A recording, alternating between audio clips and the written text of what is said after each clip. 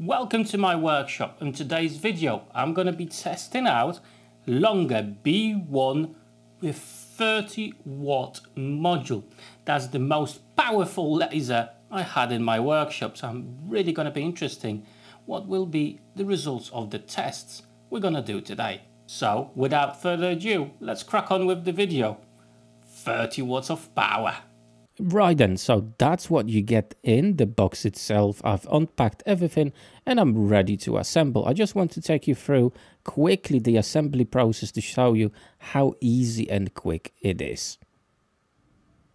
For the first step, we're going to need the x-axis, as you can see, is the one where we mount the laser head itself and the sides as well, okay? One, the left one, has got all the wires in it and at the back of it, there's a special notch for uh, the back wire to go onto. So remember that to make sure to sort your cables out when you're going to be putting this together.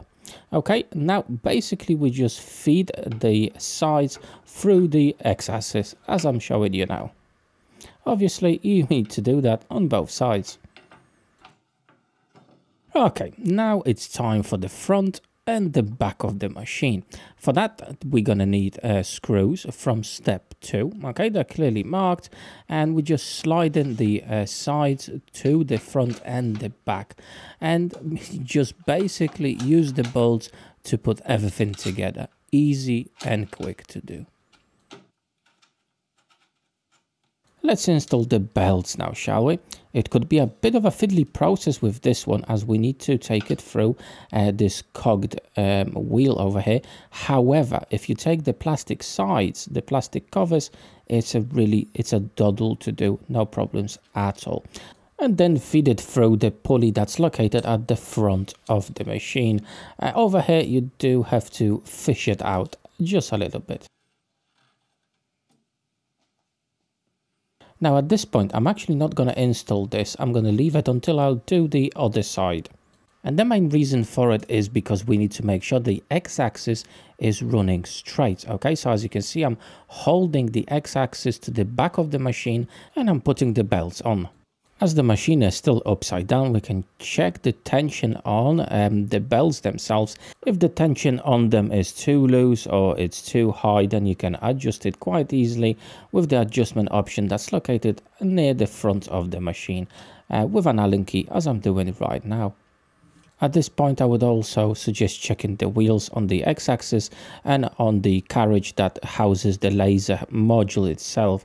If the wheels are a little bit too loose, you can amend the tension with the key, making sure that the wheels are not spinning freely, however also that they don't have too much tension on them. Now it's time for the laser module. It's a big heavy unit. It does have really cool features like integrated air assist as you can see here and a holder straight away for the hose. At the back of the machine you do have a holder for the electric wires that you need to connect to this module. On the back as well you've got this retractable feet to set up your focal point. Absolutely fantastic. It's all magnetic out of the way when it's not in use great stuff. And it's easy to install on the frame itself with just one screw. So you just slide it in the carriage and use the screw to secure it in place one of great safety features is this panoramic filter glass that can effectively filter about 99% of the laser light. However, now it's time to install the limit switches. Obviously, they're all clearly marked. It's easy to install. Just use two little screws to mount them on. Connecting all the wiring is ever so simple, everything is clearly marked and more or less everything fits in its own place so there's no room for error. As you can see I've just installed the limit switch and the motherboard. Now the uh, large cable that's on the side, again you are connecting the limit switch, the motor on the x-axis and the laser head itself. Now at this point I'm going to do a bit of cable management and I've installed the air hose already. To get to the last wire we need to flip our laser over and as you can see it's right at the back at the uh, back motor just over there. Now the feet of this laser can actually be adjusted to make sure the laser is level on your work surface. Very cool feature there. This is the USB cable that will go to your laptop. We just connect it at the front power brick at the front as well. Straight away we can connect the air hose to the air pump that we already installed to our laser module. I have to say it's a fairly quiet air pump, maybe thanks to the rubber feet it has, it's not transferring any vibrations to the workbench and we connect it directly to the frame of the laser. It's a very interesting um, option here guys where you actually control the air pump via Lightburn, so the software itself. However, you also do get the option to control the air volume um, through the valve that's located here. Right, let's talk about some important stuff when it comes to this laser, the safety features. And now that's the um, uh, safety alert. So if something goes wrong, it goes red and it flashes and it gives sound. Then you've got the reset button. After that, you've got the key lock. Basically, if you're sharing your workspace with somebody else, you can make sure nobody else will use your laser. Next, we've got the on-off switch and on the other side of the front of the frame, we've got the emergency stop button and it does exactly what it says. A bit more uh, advanced safety feature for this laser is if you, for example, accidentally knocked your laser, okay, so it loses the uh, stable position, it will stop working. Same if the uh, module itself will remain in one position for more than 15 seconds, it will automatically turn itself off and zero it out. So preventing any potential fires and also it does have flame protection flame alert. So anything goes wrong in my opinion you're definitely covered with this machine.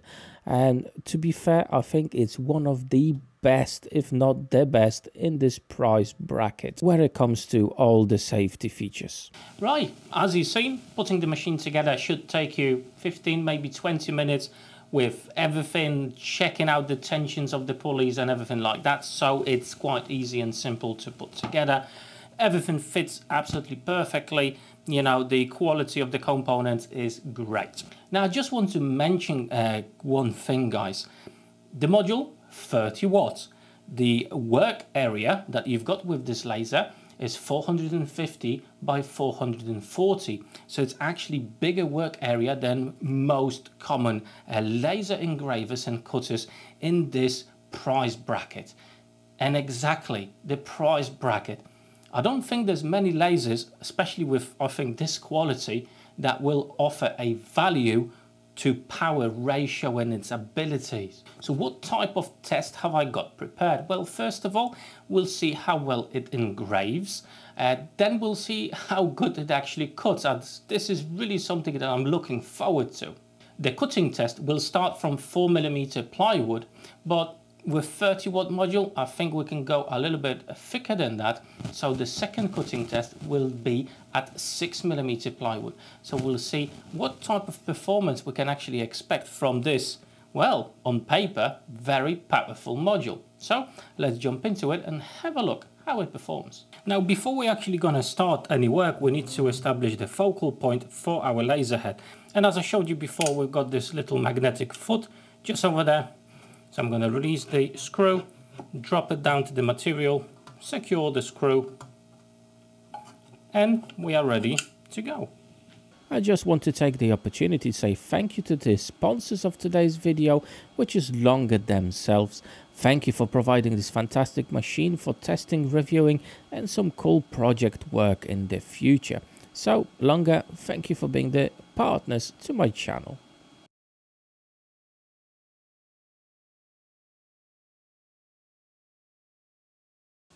Right then, let's have a look at the results of our engraving test.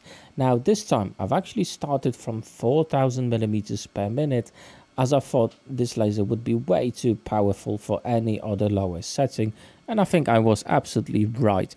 Look at that, 4000 with 100% power almost went through. Now at the top I'm missing two tiles, that's because the software didn't allow me to add two more, but you can clearly see at the maximum speed of this machine, which is 36,000 millimeters per minute, you do get fantastic engraving quality. Obviously, look at that, how deep it actually went, even with the fastest speeds. It's absolutely insane how powerful this laser module is. Look at that, absolutely fantastic results, which mean you can go a lot quicker when engraving. Okay, now it's time for the first cutting test. As I mentioned before, it's 4mm plywood. And let's have a look at the results. I think uh, we're not going to be surprised. 30 watts, it's a lot of power. And yeah, there you go. It managed to cut out all the tiles, even at 500 millimeters per minute at 70% power. Okay, so let's have a look how good of a performance we'll get on 6mm plywood. Well, we've got few tiles. Are we gonna be able to pop them out? This one is a little bit difficult. I think got stuck, but we managed to get it out. And that's what we got. 6mm plywood, 400 millimeters per minute, 80% power is the maximum we can do here. But still, absolutely fantastic performance. Tell you what, let's go even thicker. 8mm plywood, just so you can see. I'm just using my calipers to prove that this is 8mm. And let's have a look at the results. I'm super curious with this one. Let's check it out. Well, a few tiles already popped out. It's actually quite difficult to get them out because it's such a thick material. Look at that, 8 millimeters of plywood. Let's have a look how many more. Yeah, is that coming? No, that's it. That's not too bad for 8 millimeters, 200 millimeters per minute, and 90% power. Not bad at all. Let's check what thickness we can actually tackle with this machine. So I've got 17 millimeter pine and 20 millimeter pine board. Let's check how many passes we'll need to cut through those. Okay, first of all, this 17 millimeters. And I think, is it possible? Yes, I think it is. Two passes. We managed to cut through 17 millimeter pine board in only two passes. Okay, it's not burned too much. Um, quite good, nice quality. I do get a little bit overburn at the back of it, but it's not too bad. Overall, nice and clean cut. Okay, let's check out the 20 millimeter pine board. How many passes will it take to cut through that? Let's have a look.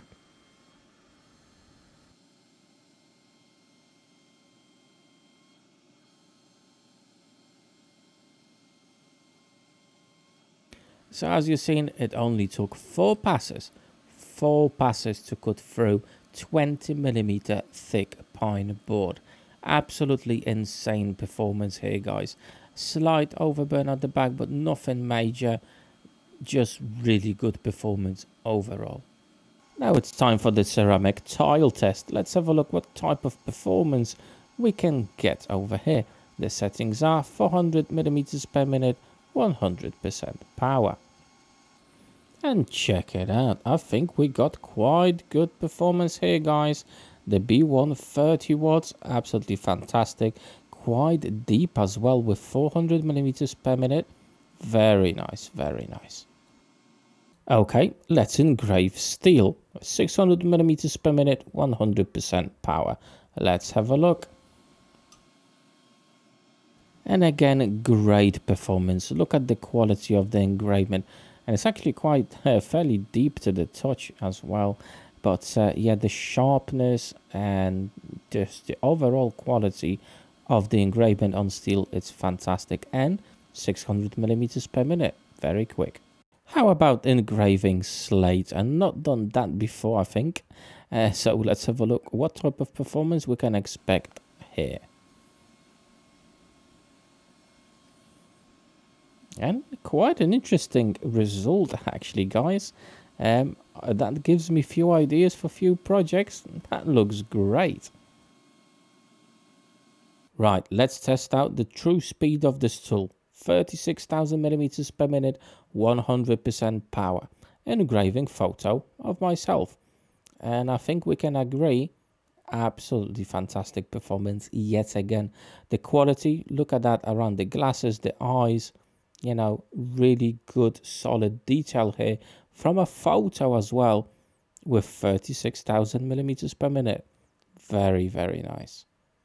And there you have it guys, we went through several tests to see what this machine is actually capable of doing. And I really have to say, I am very impressed with this 30 watt module. This is the most powerful laser I've had in my workshop.